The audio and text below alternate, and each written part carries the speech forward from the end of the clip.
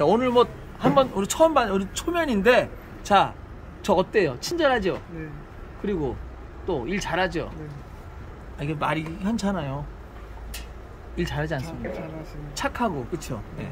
그리고 여기 찢어진 것도 딱 해주고 확 찢어졌잖아요. 이거 딱 붙여주고 얼마나 좋아?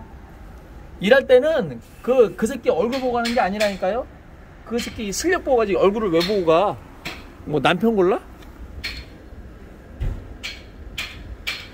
어, 요거만 딱 봐도 몇 점입니까?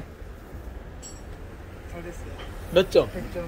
100점? 오 고마워요 이렇게 딱 해갖고 요 안에다 선을 집은 게 기술이에요 대부분이 이렇게 안 하고 여기서 바로 여기서 찢어서 여기다 찢어서 넣어버리더라고 이렇게 이렇게 내려오는 새끼들도 있고 왠지 알아요? 그게 편하거든 사실 머리 안 아프잖아 음, 아까 여기다 내가 윤활유 집어넣어서 했는데 여기다 윤활유 발라드렸어 이렇게 네, 깔끔하게 삼촌 고맙습니다 오늘 이거는 100점 네. 감사합니다